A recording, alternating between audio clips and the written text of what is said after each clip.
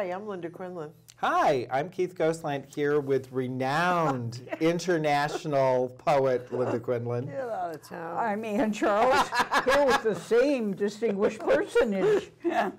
Um, It is Tuesday, November 2nd. Uh, Welcome to All Things LGBTQ. We have a lot of news, and we'll turn it over to uh, a wonderful internationally acclaimed poet. Our her favorite wicked woman. Oh my God. Ready? I'm ready. My headlines are the Trump administration to allow discrimination and adoption in healthcare. Katie Hill, the bisexual representative from California, resigns. ICE is definitely uh, detaining gay asylum seekers despite the court order that prohibited that behavior. Delta vows to restore deleted love scenes to Booksmart and Rocket Man after a week of backlash. That's nice. Ed Buck will spend over a year in jail uh, for uh, because his trial won't be until August. Uh, as reported earlier, Ed Buck is a big Democratic political donor who had two gay black men die in his house from drug overdoses. Colorado designer wants to discriminate against same-sex couples even though she doesn't really have a website yet. So uh, we'll talk a little bit That's the about that. spirit. Alrighty. In Georgia and Kentucky, lawmakers target trans youth. Uh, a two gay police sergeant wins $20 million. Openly gay killer Charles Rise, Rhines has been executed for a 1993 murder, but um, there's a little bit to talk about the politics of that. Yeah. Uh, a gay man was assaulted in alleged hate crime at a Boston bar. Radio host fired for allegedly sending homophobic tweets to himself. Top executive and LGBT representative sues Comcast, citing discrimination for being gay. Andy King, a New York City Democratic uh, representative, has been suspended without pay for 30 days and fined $15,000 for comparing pride to child pornography. And Spe- Spelman College announces queer studies chair in Audre Lorde's name. So we'll Yes. talk a little bit about that. So, okay. You're just cheery tonight. so, trivia. One person got it, one person didn't. I got it. Ah. Out in the mountains, November 1987. Front page article, and it was talking about the just march on Washington that had occurred. There was a reference made to a very moving speech that had been given by Karen Thompson. So, who's Karen Thompson? And why was she included as a rally speaker? So then we're going to talk about some events. One of the things is I want to remind people that this is open enrollment for the Affordable Care Act, which is still the law of the land. So if you need insurance coverage between now and December 15th is the time to enroll. And following up on that, please be talking to your healthcare providers in reference to Vermont Act 53. We'll talk a little bit about that in greater detail because your health information is about to go into a centralized pool to which all providers will have access. There is a symposium that's going to be happening on November 16th at Main Street Landing in Burlington, sponsored by the Alliance of the Vermont Law School. Mm-hmm. How many alliances can we have? This is Stonewall at 50, a half century of LGBTQ plus civil rights advocacy. It's 9 to 5. It's free because they had a grant from the Johnson Family Foundation, Oh, but you good. do need to register online. And Beth Robinson, our favorite just Supreme Court justice, is the lunchtime speaker. Um, it's election day, and I'm going to talk about some of the races that are happening and why we may want to be paying attention to it. November is Native American Heritage Month, and I'm going to talk a little bit about a movie called Dawnland and how you can stream it for free for this month. and then we're going to talk about Toronto. We, ah. we could be the community newspaper for them. Yeah.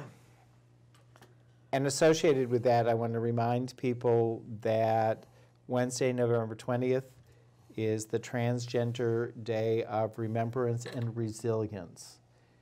And Ohavi Zedek Synagogue in Burlington at 6 o'clock Okay. is going to do the reading of names, hmm. creating sacred space. And then there will be a potluck afterwards to which people are invited.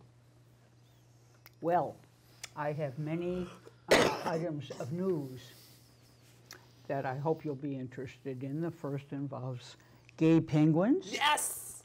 I've mentioned them before on the show. I have an update. Christina Claudia Lopez, the first woman to lead Colombia's capital. She was elected mayor of Bogota. She's an open lesbian involved with a senator. Um, very exciting news there. An anti LGBT preacher is banned from Ireland over abusive views which are likely to stir up hatred. Bye-bye. And I'm glad to be able to report this story because he's also been banned from New Zealand. And when I was reporting on that last time, I identified him as Stephen Ambrose, who is a prominent historian. His name really is Stephen Anderson. And all the countries, 26 countries in Europe have banned him. I don't know where Stephen Ambrose came from, but I stand corrected, and I hope I haven't vilified historian Ambrose. Yes, we'll, we'll take him to dinner if he ever shows. Yeah. my former school. Well, Uh, all right, let's continue. Qantas boss, this is news from the 1%. Um, in New Zealand, Qantas boss Alan Joyce marries his partner Shane Lloyd in glitzy Sydney Harbour wedding. So he's CEO, he's worth millions and millions of dollars. I have a picture of the couple on their way to their lavish ceremony. News from the 1%. All right. Uh, I have another picture of a entirely different uh, nature. A transgender woman was murdered in the El Salvador capital. Her name was Anahi Miranda Rivas. She was 27. Uh, I have a picture before you now. She was uh, beaten to death. On a more upscale note, the first Muslim Pride event to take place in London next spring and it's going to celebrate the LGBT plus community after $10,000 was raised by a fundraiser. So there's been success there. That's going to be exciting. More news, uh, stories I may not get to, but I have pictures for. First, thousands join the Pride Parade in Taiwan. 200,000 people, there's a picture of them. huh. That's a lot of Celebrating. people. My. The mayor of Manila, Isko Moreno, paints rainbow pedestrian lanes for LGBTQ people, but some people aren't happy. So the picture shows you uh, walkers on the rainbow crosswalks, but some of the LGBTQ community says, forget the aesthetics, let's have some rights. Yeah. So, Yeah. um, one more interesting uh, visual for you. The openly gay New Zealand ambassador to South Korea attends a reception with his husband. And here they are before you. South Korean president um, greets New Zealand ambassador to uh, South Korea. His name, the ambassador's name is Philip Turner, and his husband is Hiroshi Ikeda. Maybe I'll have time to elaborate on that. But those are my headlines. not. Maybe not. No. And she's at the other end of the table, so I be know. careful. Watch out. well, what I want to elaborate on is that the South Korean president's name is Moon Jae-in. So there he is with the two All right. gay gentlemen. And now we'll move to the Trump administration. And um, they want uh, discrimination in adoption and healthcare. This, of course, was the same week as National Adoption Month. the administration is attacking LGBTQ families. The Department of Health and Human Services has a new rule that adoption agencies can discriminate against LGBTQ families even if they get money from the government. This is a reversal of the Obama era um, policy, which did not allow uh, agencies who got money from the federal government to discriminate. Um, and this could also affect other other um, groups like Elder Services, Head Start, Refugee Resettlement, HIV Services, and programs for homeless youth. So, Lock um, him up. Lock him up. Katie Hill, Oh, the this is bisexual representative from California, resigned from Congress last week. She was being cyberbullied by pictures of a threesome as well as nude pictures of her on the internet by who she says is her abusive ex-husband. and there were pictures that were taken without her knowledge. Um, left, she said, as her final act, she voted to move forward on the Trump impeachment on behalf of the women of the United States of America. She also talked about patriarchy and feminism. And if you want to see her whole speech, it is, of course, on the internet. Um, I thought it was a pretty good speech. And the only other thing I wanted to say about this was Nancy Pelosi talked about, you know, like um, somehow it made it seem like it was her fault that these pictures had gotten onto the internet. And, uh, you know, I just want to say if, if she did not know about this and it was cyberbullying, then it was really hardly her fault. I was disappointed in Nancy was, too. Pelosi's response also. Um, so I, I didn't think that was really a good um, way of approaching that. This is revenge porn. And Yeah. Vermont, several sessions ago, passed a law that you can prosecute hmm someone for You should be able to. initiating Yeah. re- revenge And porn. Pelosi's remarks seemed almost like blaming the victim. Yeah, like it was her fault somehow that this has happened. Um, you know, despite the fact that if she slept with a staffer, it's probably, you know, it's not a good idea, but okay. Colorado designer wants to discriminate ex- against same sex couples, even though no LGBTQ people have even asked. and in fact, she doesn't even have. Doesn't have she- a website? she doesn't even have a website. But she wants to have a website. But before Lorie Smith of 303 Creative in Denver puts up a website, she wants to be able to know that she can put up as a Christian that she doesn't want to do anything for um, LGBTQ people because it's against her Christian beliefs. Um, her attorneys are from the Alliance Defending Freedom. Ah, so, but I mean, she doesn't even have a site up yet.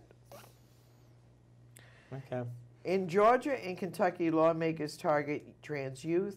In Georgia, Representative Jim, Ginny Ehrhart is preparing a bill that would make it a felony for medical professionals uh, to assist mi- in minor uh, in the minor's tra- transition in any way. In Kentucky, Representative Savannah Maddox has begun drafting a bill to protect children under 18 from gender reassignment surgery or getting any drug treatment to alter their natal gender. So, Mm. Uh, so there we go.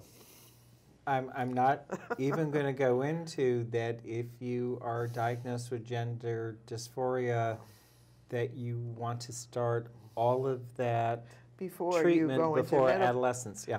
yeah, no, that's why they want to stop that to make sure it doesn't happen. So, Okay.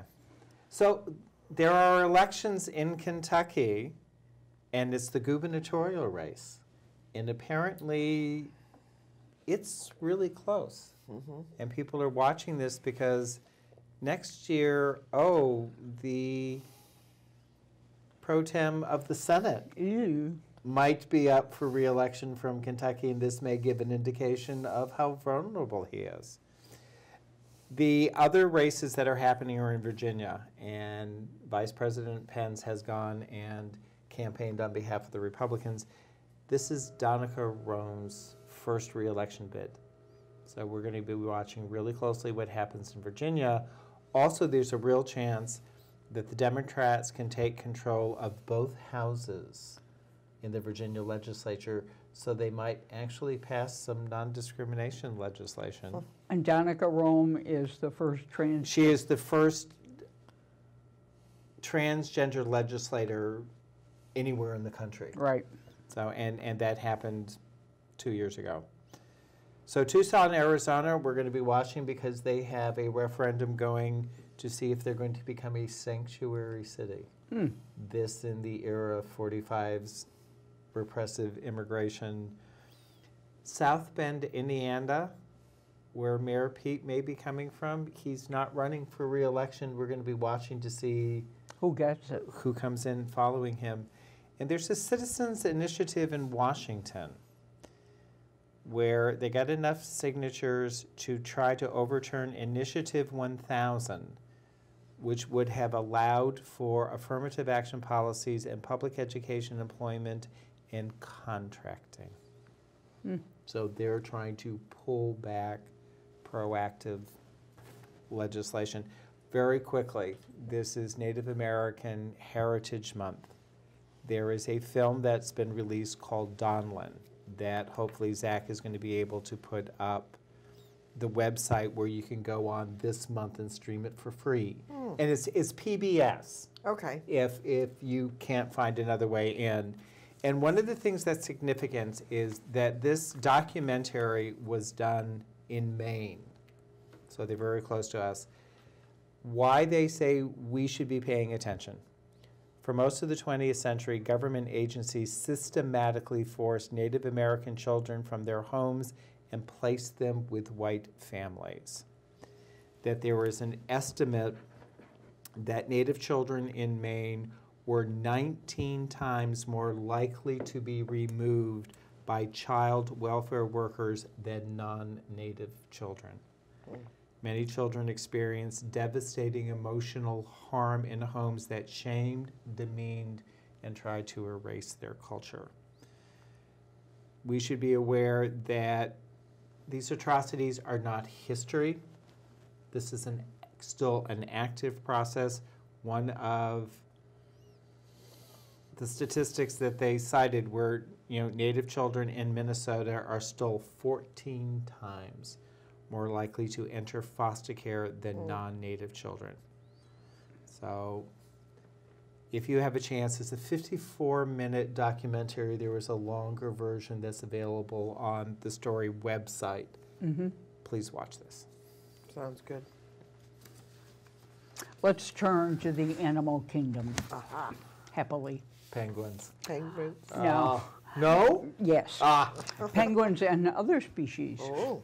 Um, the, the penguin couple from Sydney, Australia, upon whom I have reported extensively, that is to say, Sphen and Magic, the two male Gentoo penguins at the Sea Life Aquarium in Sydney, who adopted a foster egg uh, that became named Sphengic. Uh, now Sphengic is growing up, and I have a picture of the family group. They have a little chick now? Well, you know, Sphengic is maybe ahead. in yeah, maybe Yeah. in adolescence or early, you know. Okay. So the three of them, but then they've a, a, the, there's a possibility that another chick will be born. So Ah. Sphengic will have a sibling. Um, when Sphengic was first born last October, um, both dads did well. Keepers noticed that the power couple have started to build a new nest this breeding season, complete with a special display of ice pebbles. Penguin supervisor Tish Hannon told the 10 Daily they have the neatest and largest nest in the colony.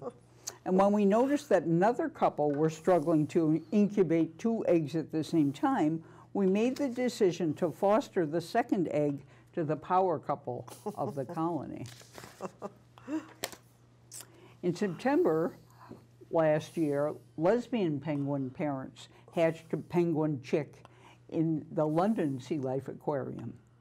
Keepers have decided to allow the chick to grow into an adult as genderless, which is normal in the wild until they mature.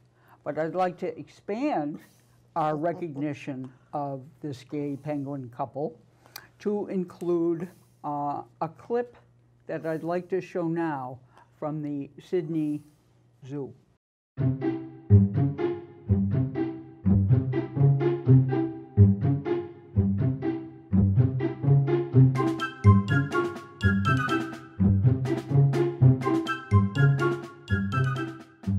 Term gay or bisexual is a sort of human term, but we do see a lot of same-sex pairings of different species, including penguins, um, where uh, animals of the same sex, uh, species of the same sex, will, will form pair bonds together, um, and they can spend up to their entire lives living together um, in harmony. So we have three same-sex pairings um, within our colony, and uh, these are male birds that are together and they live together. We do have one pair, Ronnie and Reggie, um, that actually have reared a chick of their own. They, they um, a abandoned egg was um, given to them, the chick was given to them, and they reared it, and the, the offspring is currently living with the colony on Penguin Beach now. While animals can have same-sex relationships or pair bonds, um, they don't become uh, homophobic because that's a human uh, uh, problem. And animals don't tend to react in the same way um, when animals form same-sex pair bonds. They are generally well accepted within the colony or within the community. When you talk about some of the mammal species, there's examples, particularly in primates closest to humans, the things like macaque monkeys, where they will engage in sexual activity um, with members of the same sex. And probably the most famous well-known is the bonobo, which is a, a relative of the chimpanzee, which is very, very widely known and widely studied studied for having regular sex between um, both females and males um, and you know doing that on a regular basis purely for pleasure rather than any other kind of um, understood scientific reason. Other mammals um, will also engage in same-sex uh, relationships. So um, some of the cats, particularly lions, are known to uh, mount and copulate each other during um, uh, periods of pair bonding but also probably more well documented are some of the domestic animals, including cattle and sheep. It's well documented that a number of species of insects, particularly after they first hatch or metamorphosize, will, will mate with individuals of their own sex. And we see that in things like fruit flies and certain beetle species. Um, birds are very well known for pair bonding, and birds usually, many long-lived species such as albatross and swans, as well as penguins, will pair for life. And if there aren't um, enough individuals of the opposite sex, they will often choose a member of the same sex because that instinct, that, that need to bond with another individual is very, very strong. I love those clips. It's great. Don't you feel like a grandparent now? Just... and it says wisely that homophobia is a human. Absolutely. You know, animals don't have it. So they're all faring well in the zoos and in the wild, all these LGBT. You mean the other penguins aren't marching around saying, Yeah. kill the gays? no, they aren't. And, you know, the clip illustrates all that. So let's turn to no another good story, if I may, about uh, Claudia Lopez. She's the leader of Colombia's Green Alliance Party, um, and she has just won the mayoralty of Bogota, and I have a picture before you now of her celebrating. She kissed her partner amid a roaring crowd last weekend as she became the first woman to be elected mayor of Bogota, a position considered second in importance only to the presidency in a country known for its culture of machismo. She is now the first openly gay woman to be elected to that office throughout Latin America. The 49-year-old won Sunday's election with 35.21 percentage of the votes. I'm aware that I've re received the fruit of the labor and fights of many generations of many women, Lopez said in her victory speech. They led the way for us to get here. Lopez was raised by her mother in a working class neighborhoods of Colombia's sprawling capital with five younger siblings. She worked as a housekeeper while getting her master's in public administration and urban policy from Columbia University in New York and later earned a PhD in political science from Northwestern University. Wow. Uh, she entered politics in 1989 during a mass student movement that followed the assassination of Colombian President Luis Carlos Galan. One of the most significant groups she was involved in became known as the Seventh Ballot Movement, credited for successfully forming a constituent assembly in 1990 to reform Colombia's constitution. Her victory, and this is sort of interesting, her victory was a reminder of these origins as it was Galan's son who Lopez narrowly defeated in the race for mayor. Uh, to the day in which a humble woman who is the daughter of a teacher and diverse wins for the first time the second most important elected office elected by the people in the country, Lopez said during her victory speech. Video captured by the CNN affiliate showed the moment Lopez won kissing her partner, Senator Angelica Lozano, and I wish I had a picture of that, but I couldn't get one. She kissed her Sunday night, sharing an emotional embrace with her mother. Both Lopez and Lozano are affiliated with the Center Green Left Alliance Party. Colombia is the only country in which the same political families from the 20th century are still governing in the 21st century, she told CNN. Colombia is a country that is advanced in many things, but it's still got a lot of machismo. It's a very conservative country, so congratulations Yes. to her. I have one more uh, story, unless you'd like me to wait with it. Um, I think you could probably do one short story if you have one. All right, well, let me return to this person whose name I mixed up last time. Um, Minister for Justice Charlie Flanagan signed the first exclusion order against Stephen Anderson in May. Um, the mayor for justice, Charlie Flanagan, banned um, Anderson from speaking in Ireland because his views were, are considered likely to stir up hatred. A copy of the exclusion order was sent to Mr. Anderson. Uh, it reveals the minister's decision. Um, Anderson founded a Baptist church in Arizona came to prominence when he said he had prayed for the death of President Barack Obama. Oh. He also prayed the, praised the killings of the 49 people in the Pulse, Pulse. nightclub. He was said to deliver a sermon in Dublin earlier this year with notice, he was set to deliver a sermon in Dublin with notice set on his website saying he was coming in May. Um, the mood, the move, this announcement led to an online petition calling for Anderson to be banned because of an, his anti-LGBT rhetoric, which attracted 14,000 signatures, as well as calls from Evangelical Alliance Ireland not to allow him into the country. So he's Good. even alienated the Evangelical Alliance. Following his exclusion, Anders said, Anderson said Ireland would feel the wrath of God because of the decision, but he said he would not beg to be allowed into the country. He's been banned everywhere. Good, Yeah. So here we except in like some other countries like not so far. Well, in Europe, 26 in Europe. countries no, have banned him. no. Uh, New Zealand just banned him, as I reported last time. so he's not making much progress. Good. And that's good. Well, who's the who's the woman minister who is involved is is considered Trump's uh, White, is it? What is her name? White, I think. No. Anyway, I heard her today giving a little speech about you know if um, anybody voted against Trump, you know they were um, voting against God. Yeah. Pamela White. If I had my phone, I'd look it up. Anyway, let's get to um, Some more stories. two gay two a two gay police sergeant wins twenty million dollars in a discrimination lawsuit.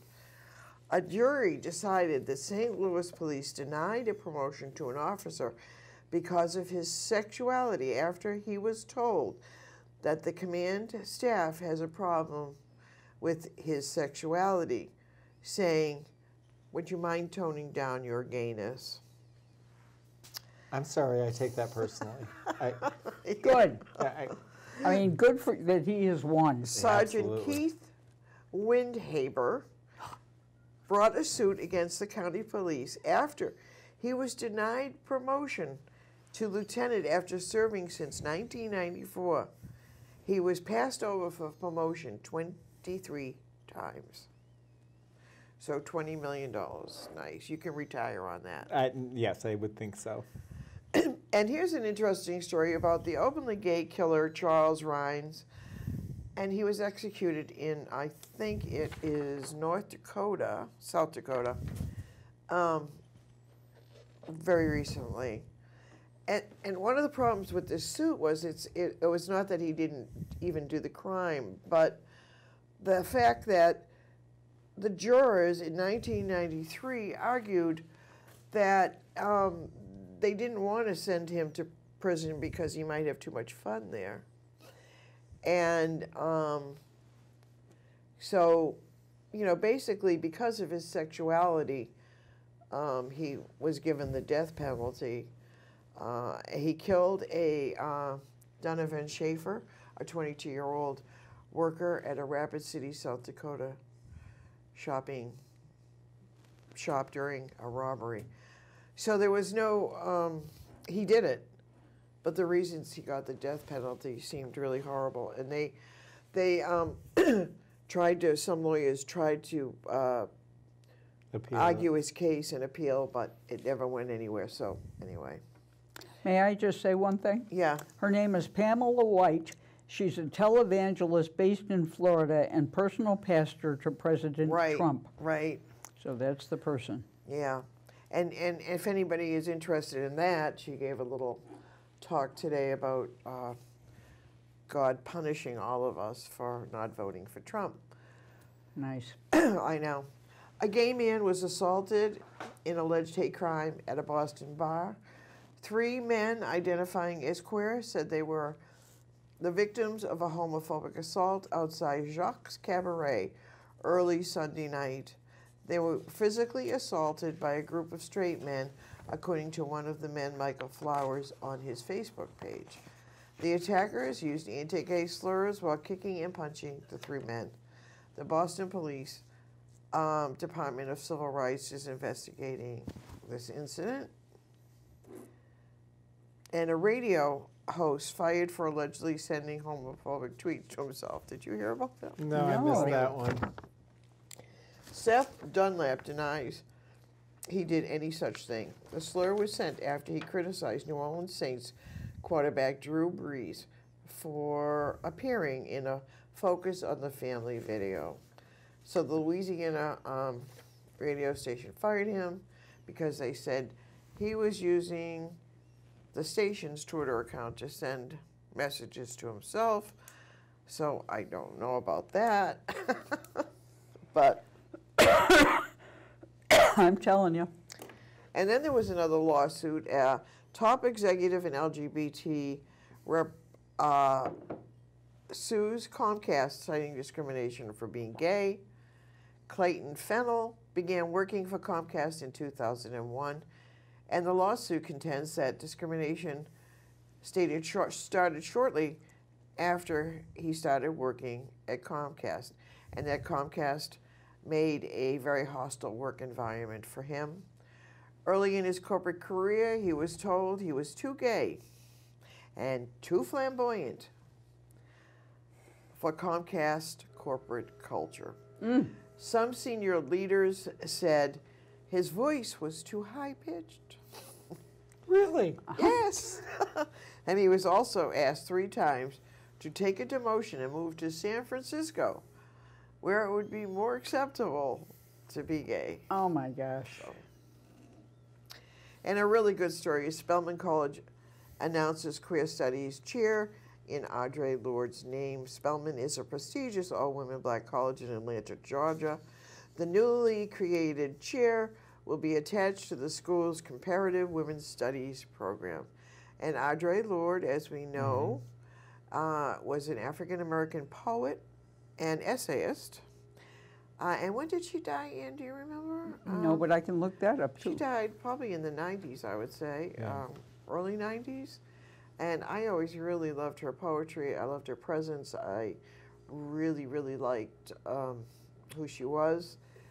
And, um, and I love the uh, saying that she said, if the revolution costs what, more than 50 cents, Ann, or was it Fifty dollars. $50, it's not her revolution? I was at a conference where she was, and it was a women's studies conference, and these two scholars did a little song and dance saying, you can join for fifty dollars, you can join the National Women's Studies Association, and she came out afterwards, immediately following this presentation, and said, any revolution that costs fifty dollars is not my revolution. It was Yeah. wonderful. I know. She is a dynamic, wonderful person. And Yes. So anyway, that'll be something to look at and follow as time goes on to see uh, who who gets to be put in that position and and whatnot. So we can now go back We're going to Toronto. Toronto. But first, Thursday, the 14th, November, 6 o'clock, Pride Center in Burlington is the last of the local town hall forums where you can come and say, as the LGBTQ plus community, if you're advocating on my behalf, these are the issues that are important. okay. So, Toronto, their mm-hmm. public library, the Palmerston branch, they gave space to Meghan Murphy. Meghan Murphy is the founder of the Feminist Currents website. She's also someone who says, you know, born woman, that's it. That sex is innate, male, female, or intersex. That she is not supportive of the transgender community. That while you know, she doesn't argue that transgender women have a right to exist. She's worried about men disguising themselves as women and entering women only space. Blah, blah, blah. Uh, One of the I'd issues. like somebody to name one. One of the issues is the library has a policy about promoting discrimination, contempt, or hatred to any group or Promoting? person that they will not give space Okay, to anyone promoting discrimination. And so it's in their policy. okay. That way, and I was going to get to that. That Okay. if you are promoting these things, you can't use their space. Okay. So they received a petition with 9,000 signatures saying. Nine thousand. Oh 9,000 signatures saying these people should not be able to use this space. And the presentation was sponsored by the Radical Feminists Unite. The event was sold out. But there were so many demonstrators out front that when she finished, she had to go out the back door. And this is the part that I just sort of go, the library's response was they'd already hosted a neo Nazi group, so what's the problem? The library. So, yeah, there you are. Dear to our hearts, Toronto. Yeah, there we are. Well, let me begin by clarifying that Audre Lorde died in 1992. Okay. Very, very young. I think she was in her 50s. Terrible loss for us all. Yeah. Um,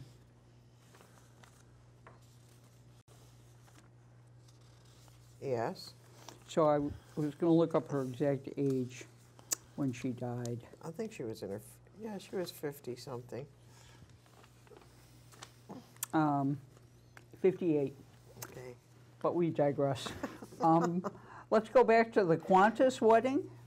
Um, Alan Joyce and his long-term partner Shane Lloyd in uh, Sydney's famous harbor, uh, tying the knot uh, in front of about 120 family, friends, and business executives. Joyce was a key campaigner for same-sex marriage, personally donating a million dollars to the campaign. And nuptials came new year, two, nearly two years after the yes vote. He and Lloyd had been together for 20 years, share a house in the inner city suburb The Rocks, near the wedding location.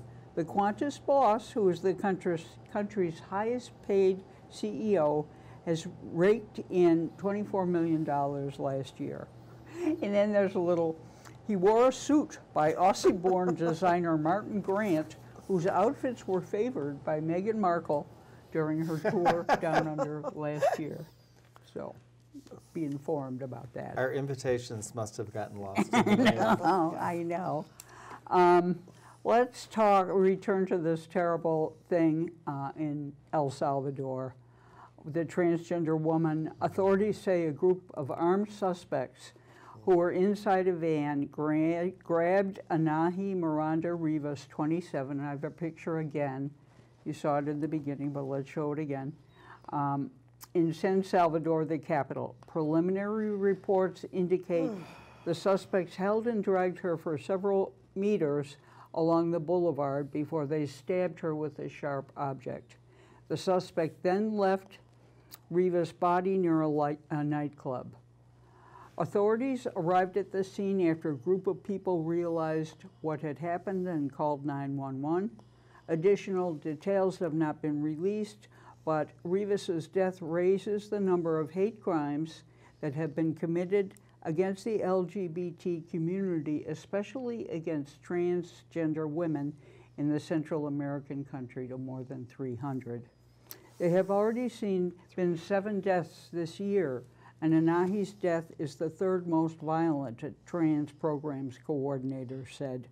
We urgently need the mechanisms that have already been put in place with El Salvador's National Civil Police and in the prosecutor's office to be applied. So, We have time. Good. Let's talk about the uh, first Muslim Pride event that's going to take place.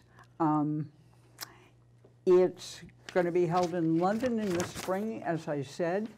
Um, the celebration, run by Charity Imaan, will take place in the capital. Um, Imaan was set up in 1999 with the aim of helping LGBT Muslims who feel isolated due to prejudice toward them. The event will look to bring the people it supports together. So that's great.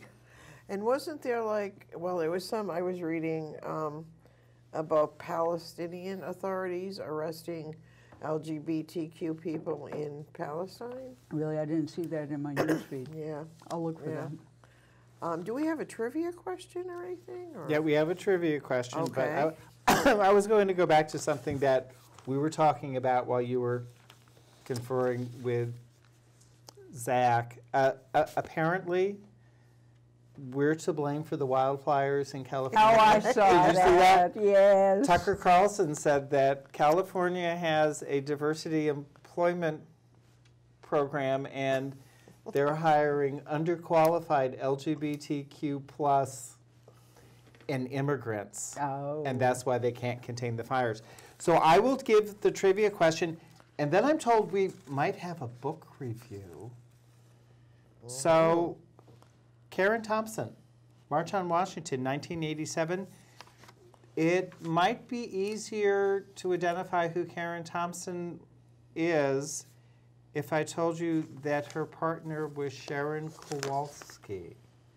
And this was the lesbian visitation and guardianship hearing that started after Sharon was in a car accident in 1983 and sustained severe head trauma and was in a nursing home. And there was a series of court battles, first allowing, then rescinding Karen's visitation, then granting it back. And finally, the court ordered an independent evaluation to determine if Sharon had capacity to express her wishes. And when she was asked repeatedly, she always responded with, Where do you want to live? And she said, St. Cloud with Karen. So finally, in December of 1991, remember this started in 1983, Karen was finally granted was like full years. guardianship. Yeah. And this was the first major visitation, guardianship, recognition of our rights as LGBTQ plus couples. And did you say where this was? What state? Minnesota. Minnesota, okay. Because we were living in Wisconsin then, right? Mm-hmm. Okay, you're going to introduce your own book? Well, yes. Um, You're a self-contained act. I know it. We have many uh, features in this show, among them book reviews. Um, on March 19th, this my review of this memoir by uh, Esther Newton called My Butch Career. In 1985, Esther Newton's trailblazing essay, The Mythic Mannish Lesbian, Radclyffe Hall and the New Woman, appeared in the pages of the lesbian issue of Signs. Uh, Signs was a prestigious feminist journal at the time. I was a lesbian scholar. I remember reading that volume, reading the article. It was really uh, groundbreaking. Um, written in 1981 and published in this landmark volume, the piece, Newton explains, was my return to scholarly work, and it made masculine lesbians my subject. Finally, I could pull my career and my queer life together. But it is the period preceding this fusion that is the subject of this memoir. Newton follows a conventional chronological path, tracing her ancestral line and unorthodox childhood as she struggled to adjust as a half Jewish, illegitimate child whose birth prompted ostracism from her firebrand mother's genteel wasp family. Describing her early years with her mother and her mother's second husband and lifelong father figure, Saul, Newton clarifies We signaled our deepest feelings toward and about each other, if at all, in a semaphore in which none of us were fluent. I love that line. Uh, Newton's life was also complicated by the fact in her early years that I became an anti girl, a girl refusenik, caught between genders. She loses her straight virginity at 17, and more important, is initiated into lesbian sex later that year. Introduced to the New York lesbian bar scene soon after, Newton provides a cultural snapshot, and here I'm quoting again. That's what being butch meant in 1959. A masculine girl like me who wore men's clothes, smoked Lucky Strikes, wore her collar up and t-shirt sleeves rolled, and dated femmes. Yeah. This formative milieu demonstrates to the young Newton what it's like to be butch, the first identity that had ever made sense out of my body's situation, the first rendition of gender that ever rang true, the first look I could ever pull together. Nevertheless, Newton doesn't come out as a lesbian until seven years later, during graduate school, where her dissertation would become the book Mother Camp Female Impersonators in America, a volume that helped establish her, establish her reputation as a radical thinker in LGBT studies. When Newton leaves Chicago for New York in the summer of 1967, she under, undertakes her first sexually satisfying relationship with an older woman and discovers the political movement to match her beliefs in the form of second wave feminism. This chapter in the narrative rekindles the energy and tensions of that time as Newton chronicles her involvement in the Upper West Side Witch, which stands for Women's International Conspiracy from Hell, the early meetings of the Gay Liberation Front, and interactions with such lesbian icons as Jill Johnston and Bertha Harris. Newton writes compellingly of her struggle to negotiate a long-standing friendship with a married heterosexual colleague during these years of political passion and contention. Six years after her arrival in New York, Newton acts on an impromptu invitation from friends to join them in Mexico, where she meets a French love interest who has re- requested anonymity in the memoir. Having received tenure, yet alienated from academia, Newton embarks on a long distance relationship with this woman and eventually moves in with her in her Paris flat. This part of the memoir provides inf- an informative counterpoint to the New York years as Newton explores the women's movement in France, dominated as it was by two separate factions the feminist revolu- revolutionnaire, led by writer Monique Wittig, and Psych et Po, led by psychiatrist Antoinette Fouque. According to Newton, the two groups were not on speaking terms. Another key feature of Newton, I know, another key feature of Newton's partial expatriation is her quest to adopt the lifestyle of her butch role model, Gertrude Stein, Yes. and to write an autobiographical novel, a project she eventually abandons before returning to the States. Barnard College's famous 1982 Scholar and the Feminist Nine conference marks a turning point for Newton, together with her friendship with feminist thinker Gayle Rubin and perusal of an article by writer Amber Hollibaugh.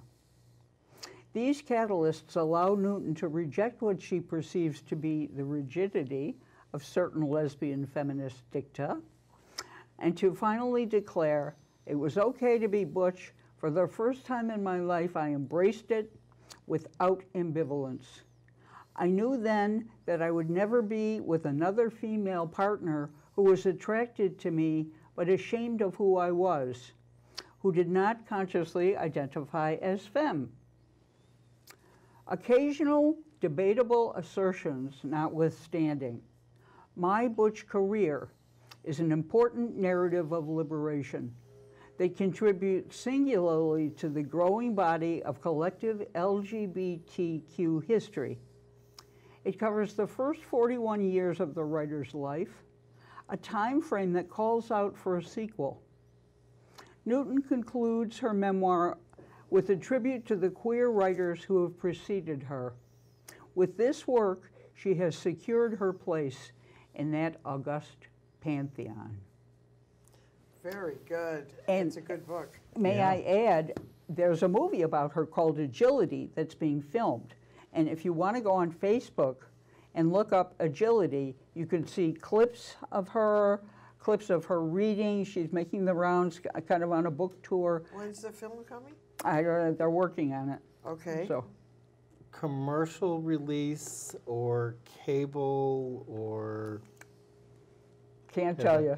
I was gonna say, is this like an Amazon Prime, a Netflix, or am I gonna go to the Savoy and see this? Savoy, I would say. It's an Okay. independent film, Okay. and it's in the works, and it looks very interesting. Okay. And what about Terminator with all that new feminist? Um, it's not getting good reviews. oh, I can't wait till it comes out. We saw Harriet. It's fabulous. Harriet is fabulous. So, Okay, and with that, Are we done? I think so. We are. We're cooked. Okay. Remember to resist. Resist.